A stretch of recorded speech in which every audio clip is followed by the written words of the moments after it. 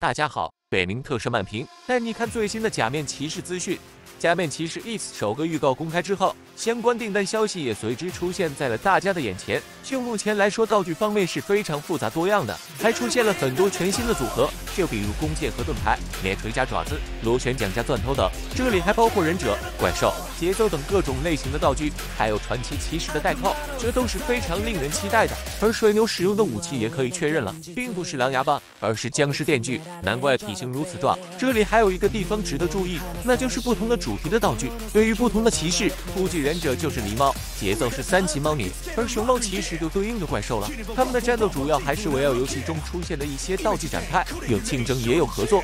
其次就是假面骑士 Gates 专用的初期武器马德南枪，这也是最新公开的玩具订单。从玩法上来看也是非常有趣的，可玩性非常的高，因为这把枪拥有多种枪的性能。常规的短枪全出模式，还有就是来福枪模式和左轮模式，还有额外的发光机制。同时前方弹匣这一块的设计也很完美，可以装备上各种代扣道具，而且还会触发不同的能力。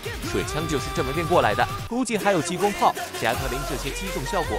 最后就是一次的腰带了，一共共有十种玩法，后期可能还会增加。不同的道具激活方式都是不一样的，就比如基础形态就是通过转动勾玉变身而成的，摩托的力量则是通过转动车把，还有就是按压师的。一些道具以及多种道具叠加，并且还可以转动变身，这也是上半身和下身的切换转变，只要转动就可以将力量转换，这样也可以形成不同的形态。而且不同道具的组合都是不一样的，这就让新骑士拥有了无限的可能性。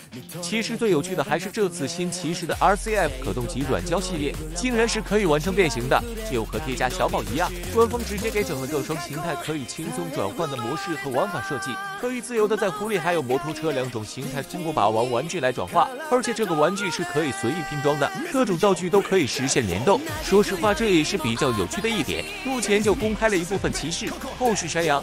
企鹅等新骑士的变身道具也会公开，让我们拭目以待吧。